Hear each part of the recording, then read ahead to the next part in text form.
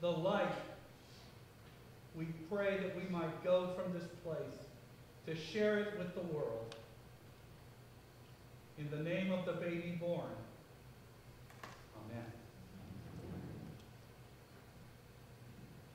Merry Christmas.